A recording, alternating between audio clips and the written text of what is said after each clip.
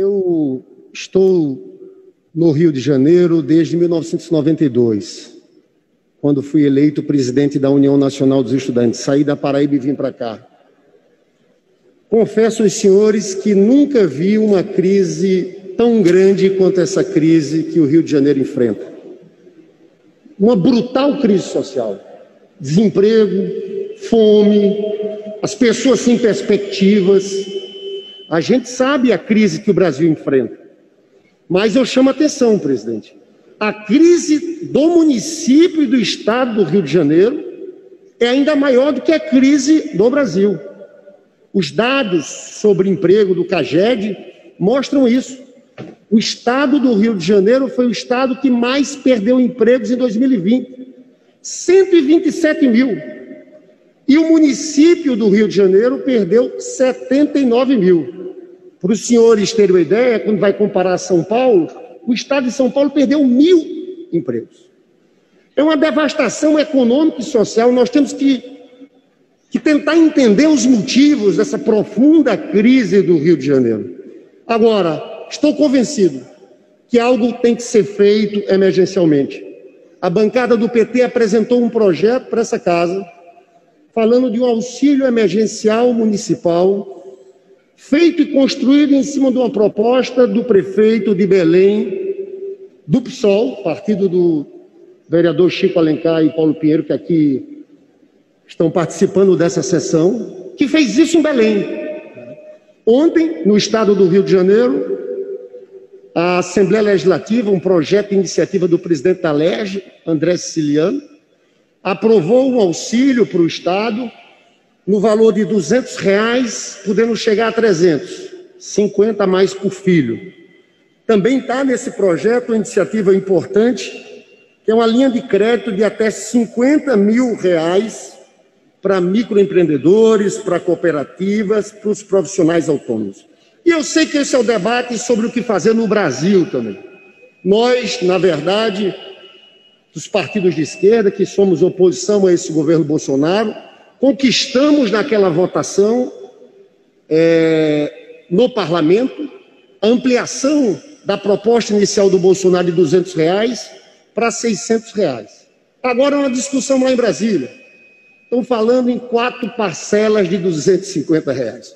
Só que eu quero chamar a atenção dos senhores é que nessa proposta estão tentando empurrar e vincular na lei de emergência fiscal algo que eu considero o maior ataque aos direitos sociais da história do Brasil, que é a desvinculação dos recursos para a saúde e para a educação. Todos os municípios brasileiros têm que investir 15% em saúde, 25% em educação. Acabar com isso é uma loucura. Muitos prefeitos, eu digo, com certeza deixarão de investir 15%. Aquele investimento que é feito em saúde, eu não tenho dúvidas em afirmar que vão virar outro tipo de obras, asfaltamento, e nós estamos no meio de uma pandemia. É uma irresponsabilidade total. Eu sei que é um debate sobre isso, mas para mim isso é cláusula pétrea. Direitos fundamentais, direitos sociais não poderia ser mexido. E é uma chantagem do governo. É uma chantagem do ministro Paulo Guedes. Querer vincular o auxílio emergencial, que é uma necessidade do povo, a uma retirada como essa. Pessoal, eu chamo a atenção porque nós somos vereadores do município do Rio. Isso vai ter impacto aqui.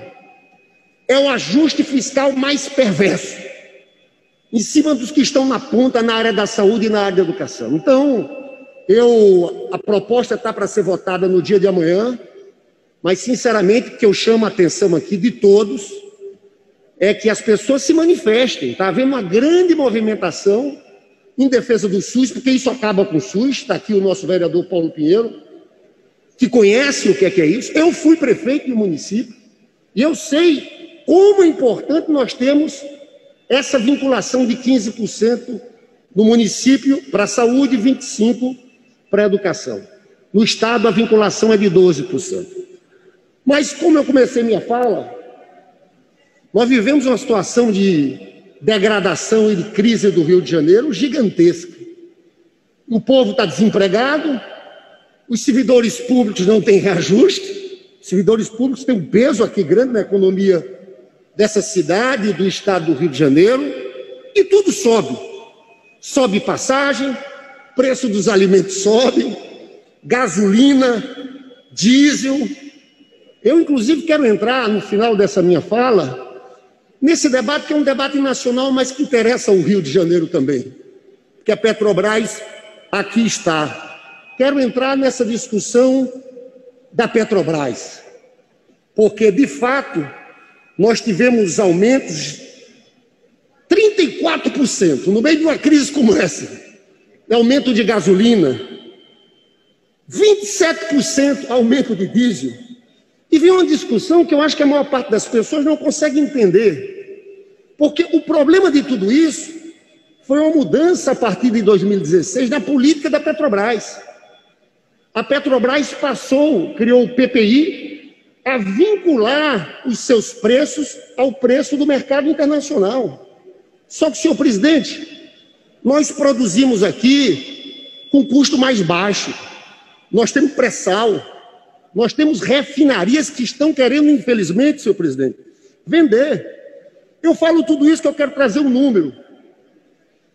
Em 2019, a Petrobras produzia o litro de diesel por 0,93 e vendia a 2,33. Ou seja, a Petrobras estava tendo um lucro de 150%. No período que nós fomos governo, nós conseguimos vender sem essa vinculação com os preços internacionais. A Petrobras sempre lucrou. Em vez de um lucro de 150%, podia ser um lucro de 40%, um lucro de 50%. Então, essa vinculação, essa grita do mercado, na verdade, atenta contra os interesses nacionais. Eles só estão pensando nos lucros dos acionistas da Bolsa de Nova York. E a pergunta que eu faço: e o povo? Quem é o acionista majoritário da Petrobras? É o povo brasileiro. Foi em cima disso que o Lula ficou presidente da República por oito anos e não aumentou uma vez sequer o botijão de gás. E a Petrobras continuou lucrativa. Então, esse debate tem que ser feito. Né? Agora, o Bolsonaro tira o Castelo Branco, mas não muda a política. Inclusive, ontem afinou claramente para o mercado. Foi no gesto ontem para o Congresso Nacional apresentar uma medida provisória que fala sobre privatização da Eletrobras. O correto era suspender essa venda das refinarias nesse momento. Nós estamos virando exportador novamente de óleo bruto e comprando gasolina de fora. Senhor presidente, nós chegamos até a autossuficiência. E agora, cada vez mais, a gente compra gasolina das importadoras das refinarias norte-americanas. Porque é uma loucura. O que é que eles fazem no Brasil? Eles estabelecem que nós vamos seguir o preço internacional e coloca mais os custos da importação. Então fica mais barato comprar gasolina de fora do país. Essa loucura que ninguém explica. E os grandes jornais, na verdade, só retratam essa, essa visão que favorece aos interesses, volto a dizer, dos acionistas da Petrobras. E eles sempre esquecem de dizer que o principal acionista da Petrobras é o povo brasileiro, porque a União tem a maior fatia das ações. Eu quero chamar a atenção que os 13 anos que nós tivemos à frente é, da presidência da época, houve 28 reajustes apenas. De 2016 para cá, mais de 500 reajustes. Senhores, eu encerro aqui minha participação, achando que essa Câmara Municipal tem que se pronunciar sobre essa proposta que vai ser votada amanhã no Senado Federal.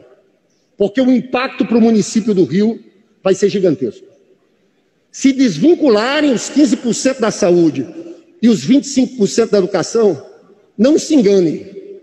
O ajuste fiscal que eles querem fazer vai ser nessas duas pastas. Um brutal ajuste fiscal. Acho que tem que haver um movimento da sociedade. E nesse caso, Eu acho que é muito importante essa Câmara Municipal é se pronunciar sobre isso.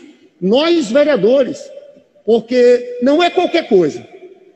Eu fui parlamentar já em 1995, de lá para cá, eu não conheço nenhuma medida. É claro que a emenda constitucional do teto dos gastos está tendo um efeito muito perverso, mas nunca vi uma medida que teria um efeito tão perverso na vida do povo mais pobre como essa. Seria retirar dinheiro de posto de saúde na ponta. Então, eu espero que essa casa, os vereadores se pronunciem, porque o Senado Federal não pode aprovar esse atentado contra a saúde e a educação pública do nosso país. Muito obrigado, senhor presidente. Obrigado.